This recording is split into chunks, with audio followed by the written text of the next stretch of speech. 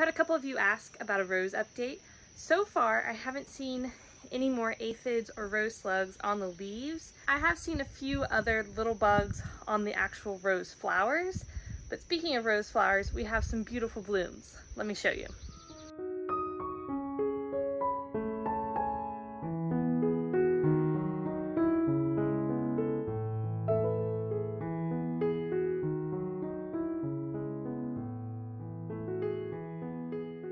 I wish you guys could smell these flowers because they truly smell amazing.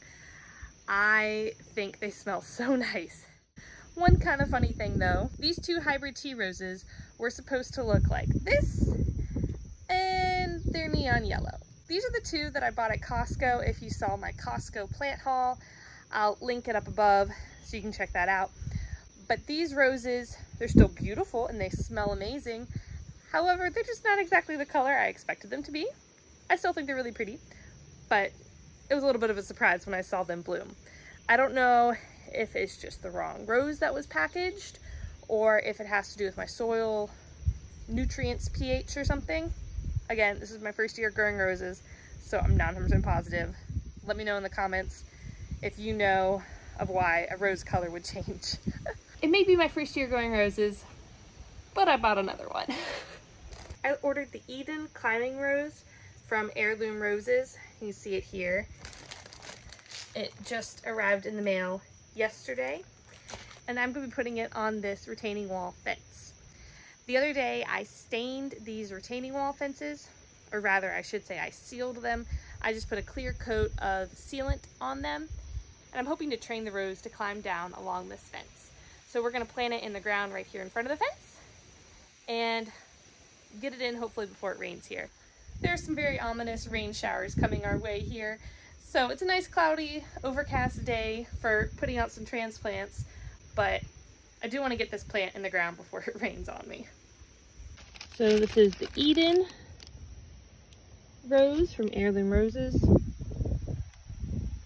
And actually a girl who was in our old Bible study before we moved had this rose in her backyard and I thought it was stunning. And so I definitely had it on my list of must tries. So I think we're just gonna put it right here in the ground.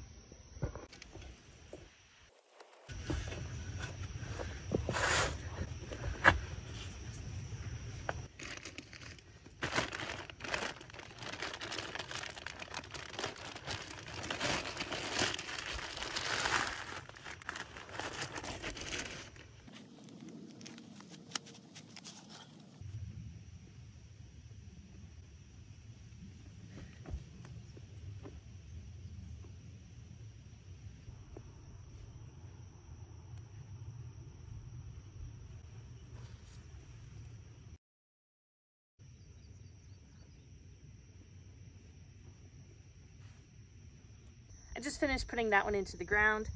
There's like two separate canes here on this.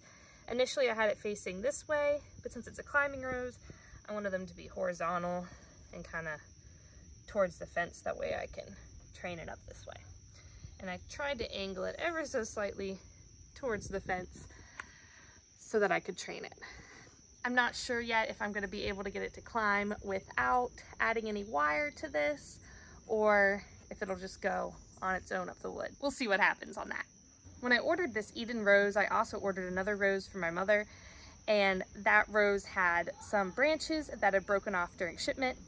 So I'll show you what I did with those here.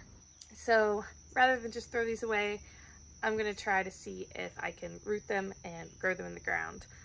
So I'm just gonna take the stems, and my plan is to just trim off some of these thorns to give it some like open wounds and then use some of the rooting hormone and then just put it straight into the ground.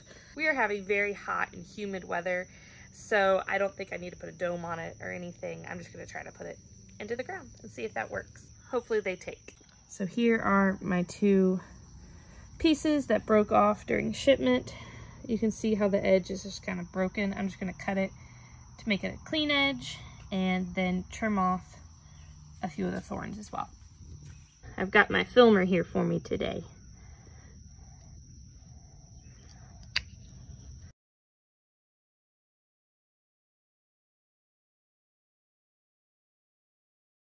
Let's me that.